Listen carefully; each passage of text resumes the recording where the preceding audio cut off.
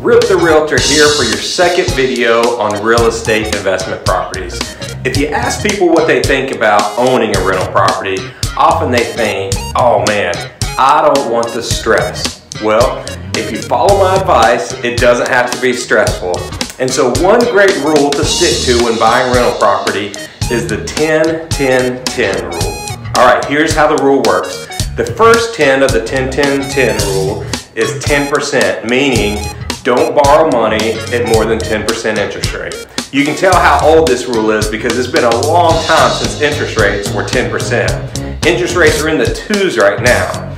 Now the second 10 is buy property within 10 miles of where you live.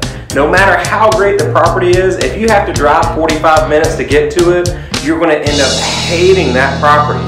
So no more than 10 miles away.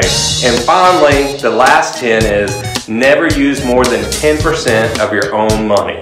There's no need to sink a ton of your own money into it, especially when interest rates are so low. So there you have it. If you follow the 10-10-10 rule of owning investment properties, real estate is low hassle and an amazing investment opportunity. So until video three, this is Rip the Realtor helping you build wealth through real estate. Love y'all.